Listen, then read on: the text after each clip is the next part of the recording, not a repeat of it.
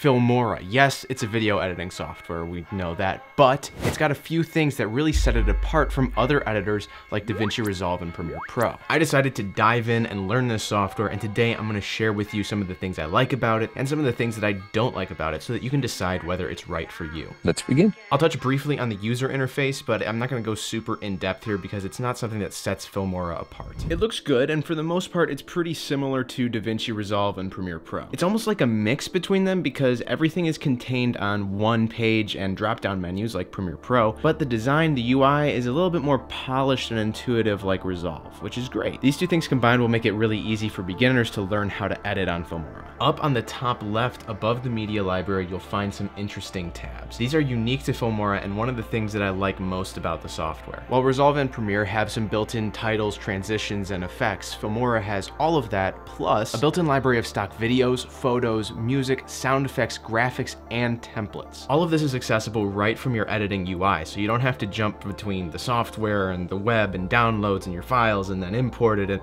you know, it's, it's all just right there. Some of these assets are free with Filmora, but a lot of them are locked behind another paywall, which is a subscription to something called Filmora Assets. It's a whole other thing. I'll talk about that in a minute. If there's a little pink diamond on the upper corner of the asset, then this extra subscription is required to use it. Tell them to bring me my money. Filmora itself has a relatively small collection of stock footage, so you might find what you need here, but they've also partnered with Pexels and Pixabay to integrate their free libraries of stock footage into the UI. And as for the quality, honestly, they're not the best shots in the world. Certainly nothing compared to ArtGrid, but if you just need some basic stock footage, this is a fine way to go. All these videos are cleared for use on YouTube and social media, but they're not cleared for commercial projects. So if you're a video production company or a freelancer, you're gonna have to find your stock footage elsewhere. The stock photos are sort of the same deal, except the quality of these on Pexels is actually pretty darn good. Plus, Filmora has a built-in AI photo generator so that you can create anything that your mind can think up. Well, at least that's the idea. It doesn't really work that well. It's nowhere near the quality of Midjourney, so I think we're just gonna have to hope in the future for an update to the AI for this thing, because it's, it's not really usable. The stickers tab is really what I've found to be most useful because it is filled with hundreds of really simple elements that will level up your editing instantly. The animated graphics combined with a stock background work perfectly to create amazing infographics without ever having to go into After Effects or spend hours searching and using assets from a different source. I'm not a huge fan of templates, but if you are and you like how simple they make everything,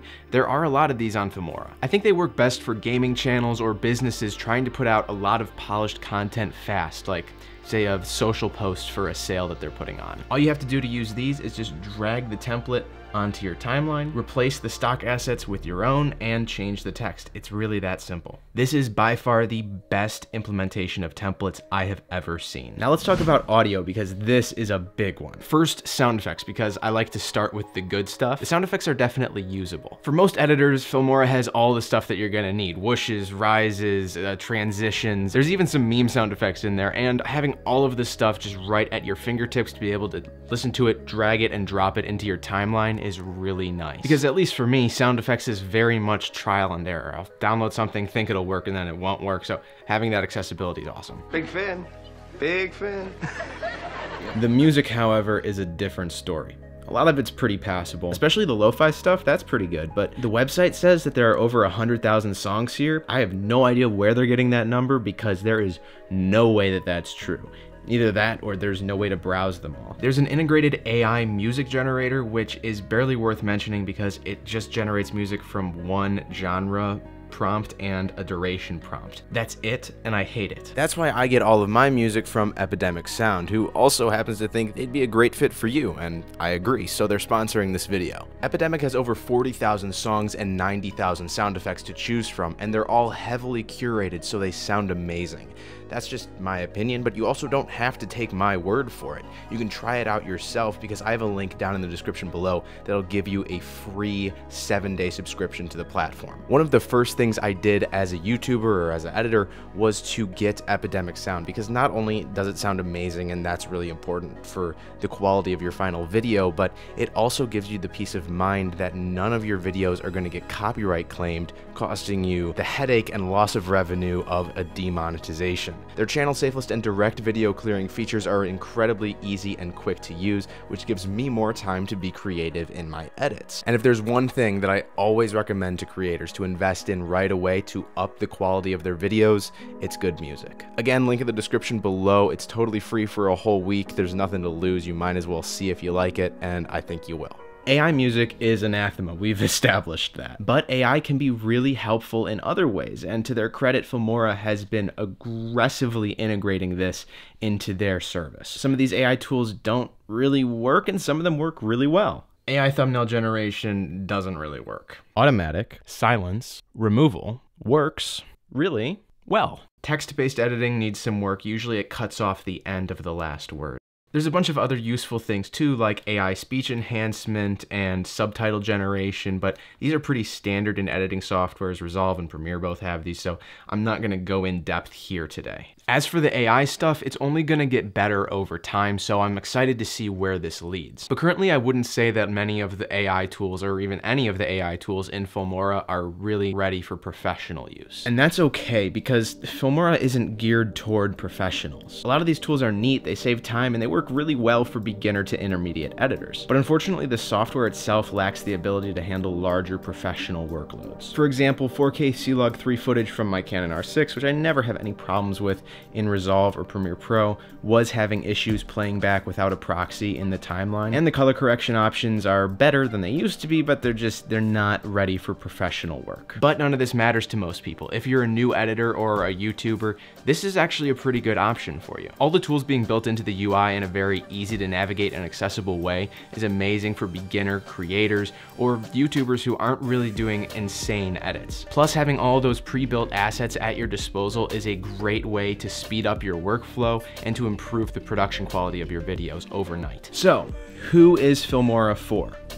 Beginner editors, businesses looking to produce their own promotional materials, and YouTubers, especially gaming channels or channels that produce um, like infographic explainer type videos. Basically, if you want or need access to a whole suite of tools all in one place and on a budget, Filmora is a great way to go. Not only is it a video editing software, it's also a screen recording software, and a very good one too. Obviously, this is a great feature for gamers, but if you're just a regular video editor, you might think that this is a superfluous feature. I'm here to tell you that it's not. The amount of screen recording I do to put together my videos is actually much higher than you would think. Mac has a built-in screen recorder, but it doesn't capture system audio, and Filmora does. This means instead of downloading movie clips or memes from sketchy sites and worrying about viruses, I can just record the screen with Filmora, play the video back, and boom, a meme. You serious? Now let's talk about that budget. Filmora does have a free version, which is uh, cool for checking out, I guess, to see if you like the software, but it's not really worth anything in the end because it'll export everything with a big old watermark on it. To get rid of that watermark and unlock a bunch of other stuff like creative assets and cloud storage, you have three options. The quarterly plan, which costs $29.99 per quarter, which would amount to $120 for a year. The annual plan, which right now is $49.99 for the whole year up front, or the perpetual plan, which gives you access to Filmora forever, but only the version of Filmora that you buy. So in this case, early 2024, that would be Filmora 13. You can use Filmora 13 forever till the end of time, but if Filmora 14 comes out, you have to pay to upgrade to Filmora 14. This perpetual plan plan also limits your AI credits, which are sort of the tokens that you use to use the AI in the system. It limits that to 2,000. So if you run out, you're gonna have to buy more. Both the quarterly and annual plan give you cross-platform access, meaning you can edit on Mac, PC, iOS, iPadOS, and Android. While the perpetual plan limits you to use Filmora on the platform, the operating software that you purchased it for. So in my case, that would be Mac. My personal recommendation is to go for the annual plan because it certainly is the best value. Though if you want to give it a shot for three months first, maybe go for the quarterly plan, see if you like editing with Filmora, and then if you do, you can upgrade to the annual plan after having started off with a smaller investment. The Filmora Creative Asset subscription is a whole different animal. It costs $100 a year, $40 a quarter, or $21 per month. That's not cheap. Whether it's worth it for you is totally up to your needs and your budget. Now I want to know what do you think of Filmora? If you're not really sure, you should check out this video where I compare the giants of video editing software, Resolve and Premiere Pro, and I look at them from a beginner editor's perspective. Check that out.